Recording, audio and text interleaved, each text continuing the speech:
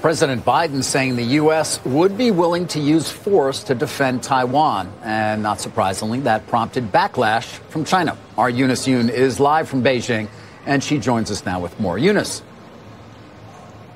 Thanks so much, David. Well, President Biden made an unexpected statement to reporters in Tokyo today uh, when asked if the U.S. would defend Taiwan militarily if China were to attack. He said yes because the U.S. made a commitment to do so. Now, that conflicts with official American policy, which is based on the concept of strategic ambiguity. And that basically means the U.S. has purposefully left it vague and does not make definitive statements as to whether or not it's going to enter a war on Taiwan's behalf. The White House uh, very quickly walked back those statements, uh, saying that, um, or reiterating uh, the U.S.'s long held position to uphold the one China policy and support Taiwan uh, with its efforts.